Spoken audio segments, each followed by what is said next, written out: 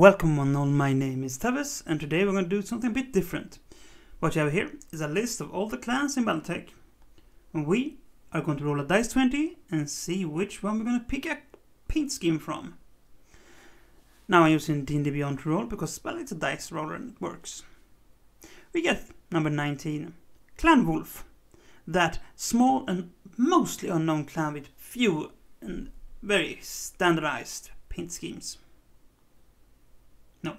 So we head over to Unit Color Compendium and we bring up Clan Wolf. And as you'll see, they have about 20 different paint schemes. Not kidding. 20. And uh, some fairly interesting one actually. A few stock standard, but mostly interesting. So roll another dice 20. And we see what we get. We get number 8. Now what would that be? you might wonder. Well, I know, you don't. But I know, and I feel sorrow. So, let's count down. One, two, three, four, five, six, seven, eight, and there you are. Bronze Keshik. A woodland sort of camo. Browns, greens, yellows, muddled with some bronze accents.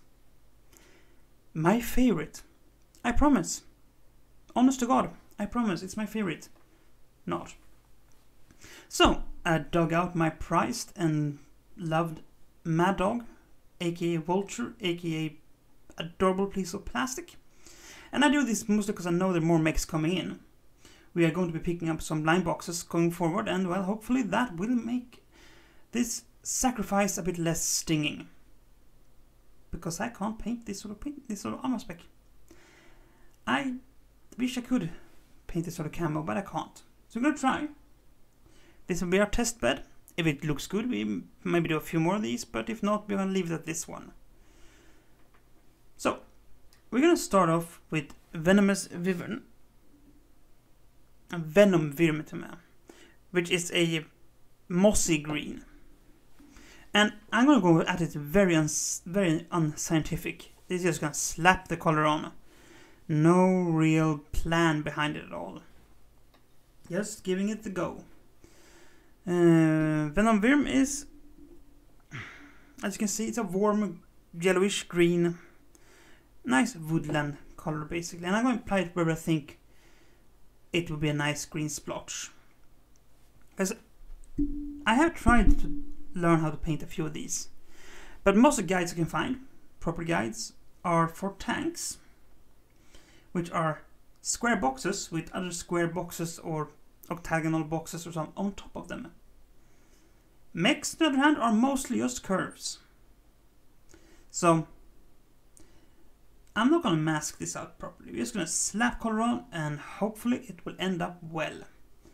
I'm sure you can tell me how this end up by the end of it. Maybe not. I don't know. We'll see. We will see indeed. So,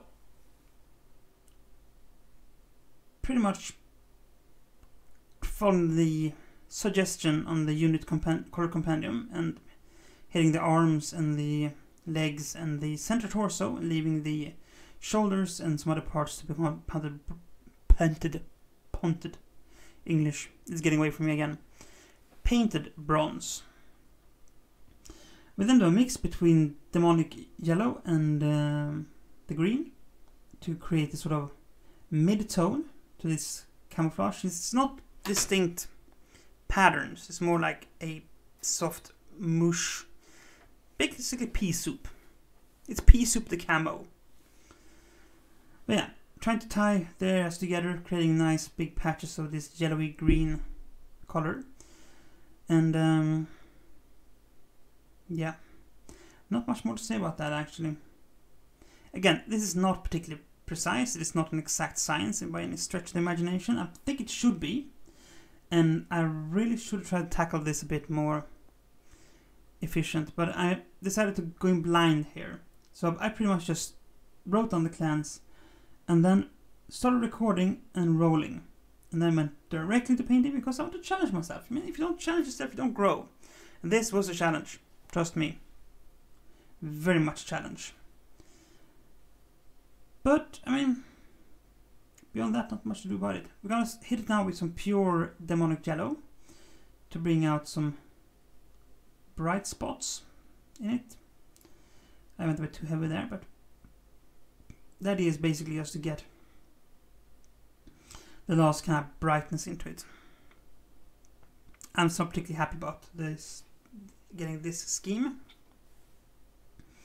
But, uh, it was to do. When do random? Random is random. I mean, had I done a three color range, got colors not like instead. So I mean, these sort of challenges are to try and evolve and overcome and do better.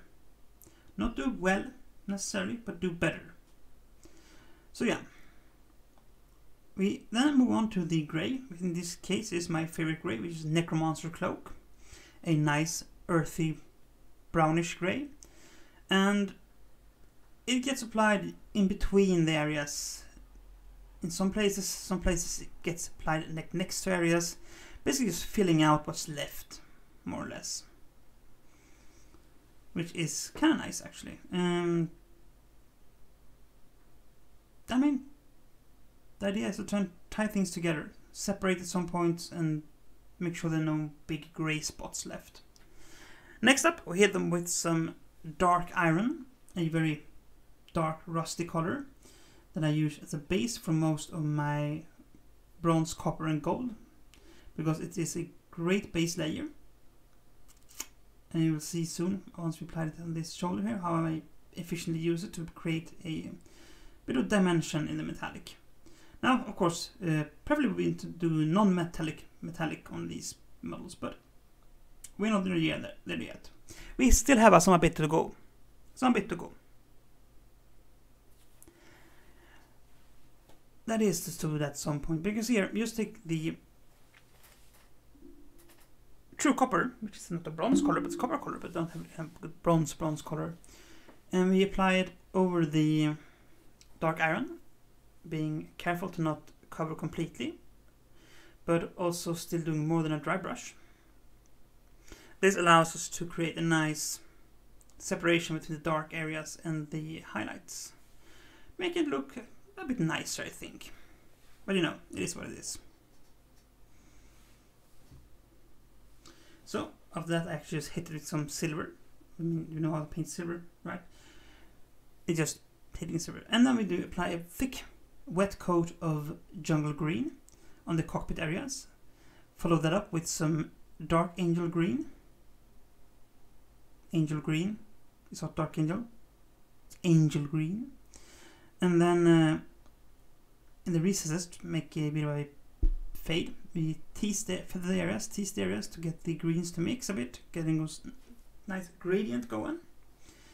And tiny areas then get hit with a touch of jungle green, demonic yellow, and uh, I think it is necrotic flesh. Just brighten it up a bit and create the upper highlight. I think it turned out pretty well for the size of the area. It's tiny. then we just hit it with my special sauce, which is a thin down coat of Nuln oil to make it a bit recessed and glossy. And to blend the poor camo back together a bit, because oh dear lord, it looked bad at some points. But yeah, that's my standard sauce. On to the beauty shots. And there you have it. Finished up. Lovely make. Sorry for the slight seasickness in the, in the camera. And uh, I think it turned pretty good actually. So, if you like this, hit like, subscribe, send me your best wishes.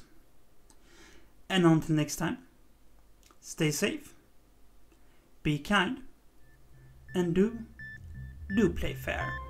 Bye.